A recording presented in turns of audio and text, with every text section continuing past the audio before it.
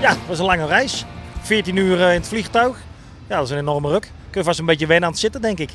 Ja, en toen moesten we daarna nog met de bus, hè? Ja, dat was nog 4 uur met de bus. Nou, dat was wat net zo erg als in het vliegtuig, denk ik. Dus uh, wat dan gaat, uh, ja, echt een hele lange reis.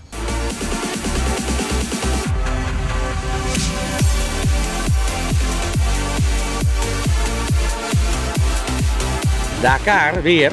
Maar waarom in godsnaam in een truck? Ik had met mezelf een weddenschap afgesloten dat ik alle disciplines als eerste persoon wil uitrijden in Dakar. Ja? Dus daarom zit ik in een truck.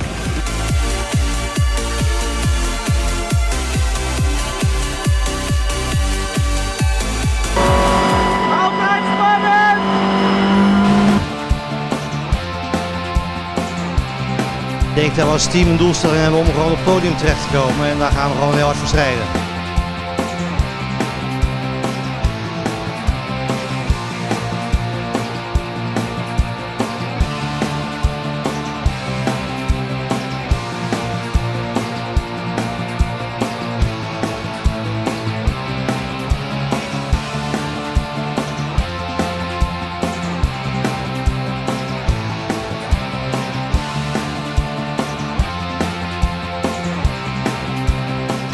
Hier worden we kledingstukken worden gecheckt of ze allemaal goed zijn, het veilig is en dat soort dingen.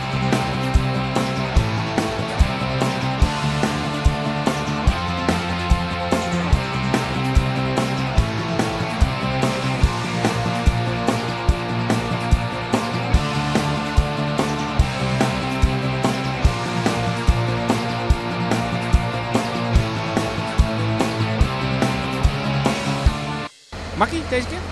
Ja, inderdaad een makkie. We waren eigenlijk heel snel doorheen door de keuring. Alles klopte, alles goed voor elkaar. Als je hier klaar bent, gaat de auto naar? Park van mee, dus dat is hier 20 minuten verderop. En, uh, en dan gaan wij naar het hotel en dan is het eventjes een beetje chillen. En uh, ja, morgen dan, dan uh, is er geloof ik wat ceremonieel gebeuren.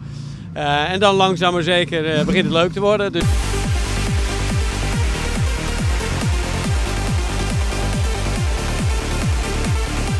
op weg. Hè? Het is nog maar een klein rondje. Volle bak hè. Begin is er. Ja, top hè. Die mensen zijn super enthousiast. Helemaal geweldig. Echt top.